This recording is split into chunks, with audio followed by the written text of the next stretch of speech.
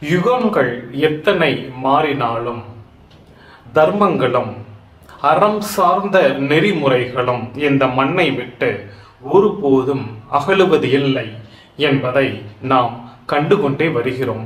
தர்மங்களும் அறநெறிகளும் ஆன்மாக்கள் வாயிலாக கடத்தப்பட்டு கொண்டே வருகின்றன என்பதை நாம் கண்டுகொண்டே வருகிறோம்.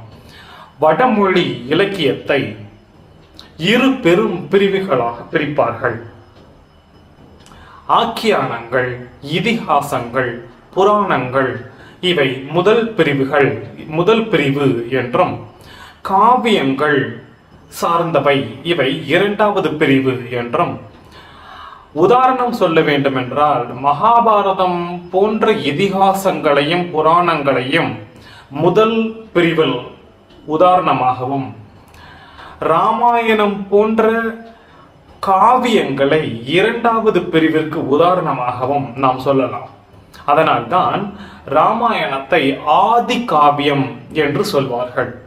பின்னால் வந்த எத்தனையோ காவியங்களுக்கும் புராணங்களுக்கும் இதிகாசங்களுக்கும் முன்னோடியாய் திகழ்ந்தது இந்த ராமாயண காவியம்தான் என்பதனால் இது ஆதி காவியம் என்று அழைக்கப்பட்டது.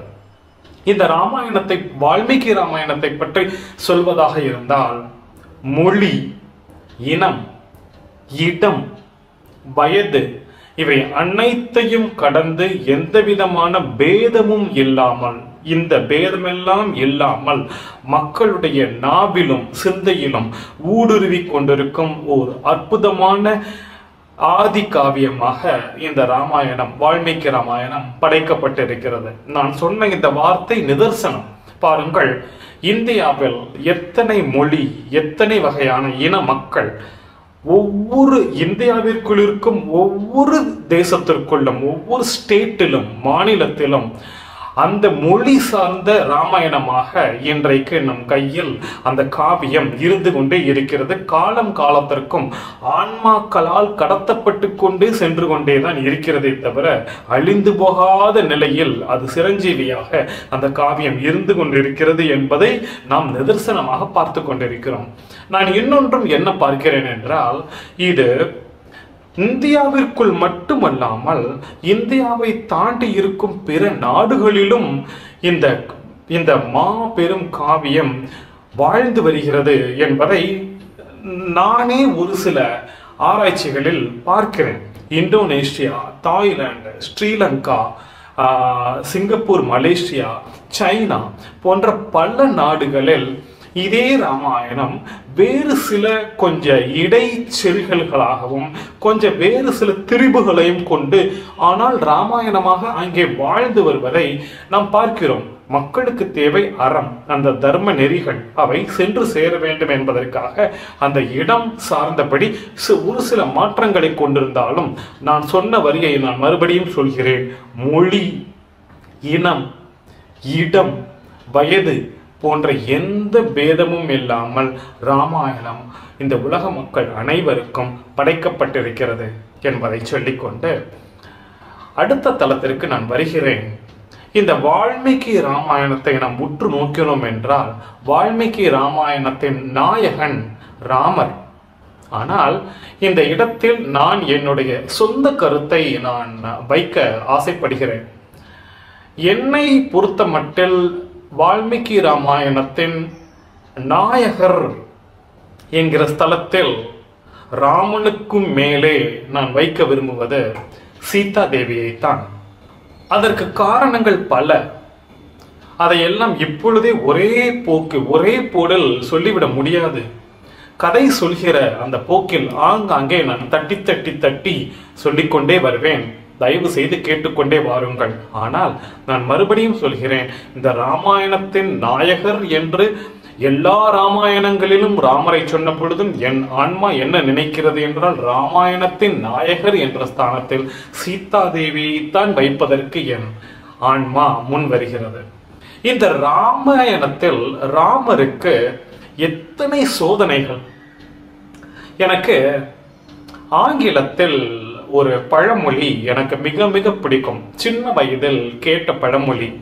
அதை என் வாழ்க்கையில் மறக்கவே முடியவில்லை. அதை என் வாழ்க்கையில் நான் உட்புகுத்தி கொண்டேன். பாருங்கள் ராமாயணத்தில் ஒரு ஆங்கில பழமொழியை நான் சொல்லும் அளவிற்கு அந்த பழமொழி என் வாழ்க்கையில் அப்படியே வேரூன்றி போனது. என் என் ஒவ்வொரு தருணத்திலும் அந்த பழமொழியை நான் ஒப்பிட்டு கொண்டே வருவேன். அது என்ன பழமொழி என்றால் அதை நான் அப்படியே ஆங்கிலத்திலேயே நான் சொல்கிறேன் பிறகு தமிழில் சொல்கிறேன். Your character is what when you are in dark. அதை தமிழில் சொல்வதாக இருந்தால் உன்னுடைய குணாதிசயம் எது என்றால் ஒரு இருட்டான அறையில் நீ இருக்கும் பொழுது நீ என்னவாக இருக்கிறாயோ அதுவே உன்னுடைய உண்மையான குணாதிசயம் ஆகும் என்பதுதான் அந்த ஆங்கில பழமொழியின் தமிழாக்கம்.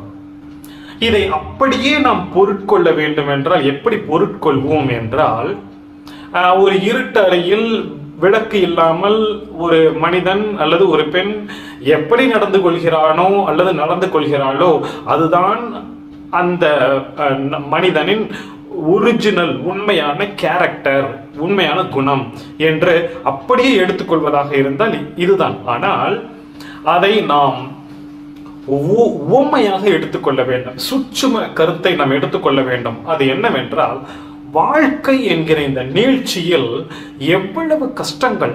அந்த கஷ்டங்கள் எல்லாமே இருள் இருள்தான். இருளான சூழ்நிலைகள் தான் அந்த சூழ்நிலையில் ஒரு மனிதன் எப்படி நடந்து கொள்கிறான் என்பதுதான் அவனுடைய உண்மையான குணம். எத்தனையோ மனிதர்களை பார்க்கிறோம். உங்கள் அலுவலகத்தில் பார்க்கிறீர்கள் வீட்டில் பார்க்கிறோம் அக்கம் பக்கத்தில் எல்லாம் பார்க்கிறோம்.